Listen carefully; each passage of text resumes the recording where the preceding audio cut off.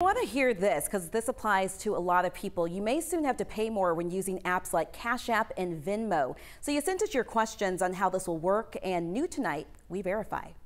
Social media posts are going viral, claiming money paying apps are changing up their policies.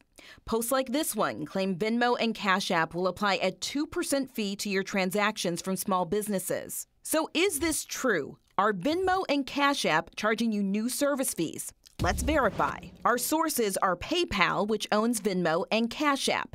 Here's what we found. PayPal says Venmo is rolling out new features to help you safely send and receive money for goods and services. You have to opt in and select that you are buying something from a business, and then it will now charge the seller a fee, which is nearly 2% of your purchase. Meanwhile, Cash App says none of its policies changed. If you have a Cash for Business account, it already applies a 2.75% fee to every payment. So we can verify that yes, Venmo is now charging fees for goods and services. That claim is true for some people, but the claim that Cash App is adding more fees is false. Their fee structure is not changing.